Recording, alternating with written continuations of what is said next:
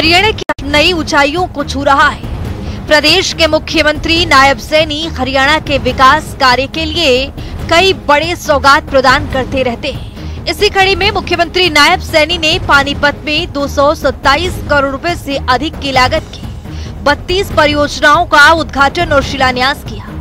इसके अलावा मुख्यमंत्री ने पानीपत शहरी विधानसभा क्षेत्र में विकास कार्यों के लिए 10 करोड़ रुपए और पानीपत ग्रामीण विधानसभा क्षेत्रों के लिए भी 10 करोड़ रुपए की राशि मंजूर करने की घोषणा की। मुझे पानीपत के बढ़ते हुए विस्तार के साथ साथ यहाँ पर बुनियादी सुविधाओं का भी बहुत ज़रूरी है।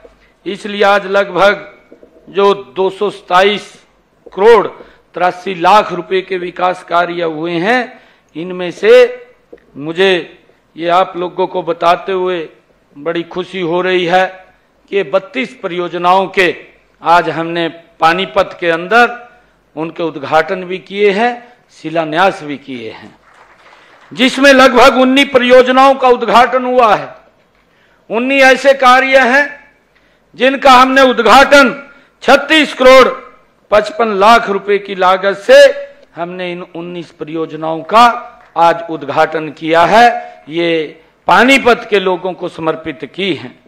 मुझे ये भी खुशी है कि एक सौ अट्ठावन करोड़ रुपए की लागत से 12 परियोजनाओं का हमने शिलान्यास भी किया है। ये विकास में एक बड़ी गति से ये पानीपत भी ये आगे बढ़े। इसके लिए हमारी सरकार मजबूती से लगातार विकास कार्यों में तेज़ी लाए हुए है। इस अवसर पर मुख्यमंत्री नायब सिंह सैनी ने कहा कि पिछले करीब 10 वर्षों में प्रधानमंत्री नरेंद्र मोदी के नेतृत्व में प्रदेश में डबल इंजन की सरकार ने एक ऐसी व्यवस्था कायम की है, जिसमें हर वर्ग के कल्याण के लिए कार्य किया गया है और प्रदेश के विकास को नए आयाम दिए गए हैं। वर्तमान सरकार के लगभग 10 साल का कार्यकाल पिछली सरकारों के 48 वर्षों पर भारी पड़ा है। जितने विकास के कार्य इस सरकार के कार्यकाल में हुए उतने पहले कभी नहीं हुए। विकास का यह दौर हम पूरे प्रदेश में पिछले पौने दस वर्षों से चलाए हुए हैं। इसमें किसी प्रकार का कोई भेदभाव नहीं है। हम देखते थे पूर्व की सरकारों में ये भेदभाव पनपता था। परंतु आप जानते हैं कि हमारी सरकार से पहले विकास और जन कल्याण की योजनाओं में भी बड़ा भेदभाव होता था और इस प्रकार की चर्चाएँ वो रहती थी कि भाई एक ही क्षेत्र का काम हो रहा है, बाकी पूरे प्रदेश की अनदेखी की जा रही है, परंतु बिना भेदभाव के पूरे हरियाणा प्रदेश का समान रूप से विकास अगर कोई सरकार कर रही है, ये डबल इंजन की सरकार हमारी लगातार हरियाणा प्रदेश को आगे बढ़ाने का काम कर रही है। जब हमने 2014 में प्रदेश की जनसेवा का दायित्व ग्रहण किया था तो हमारे सामने कई चुनौतियाँ थी। हमें विरासत में संवेदनहीन प्रशासन मिला था।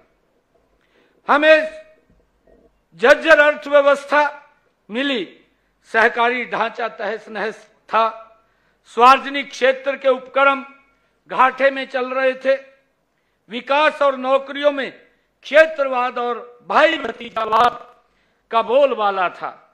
हमारी सरकार ने पौने दस वर्षों में माननीय प्रधानमंत्री नरेंद्र मोदी जी के ओजस्वी मार्गदर्शन में सबका साथ, सबका विकास के मूल मंत्र और पंडित दीनदयाल उपाध्याय जी के अंत्योदय के दर्शन पर चलते हुए पूरे प्रदेश की इन पौने दस वर्षों में तस्वीर बदलने का काम ये हमारी सरकार ने किया है। इतना ही नहीं, मुख्यमंत्री नायब सैनी ने कहा कि राज्य सरकार ने ग्राम विकास में तेज़ी लाने के लिए पंचायतों को कई नई शक्तियाँ दी राज्य सरकार नई सोच, नए विजन और कठोर परिश्रम से हरियाणा के विकास को एक नई दिशा और गति दे रही है, ताकि समाज का हर वर्ग खुशहाल हो।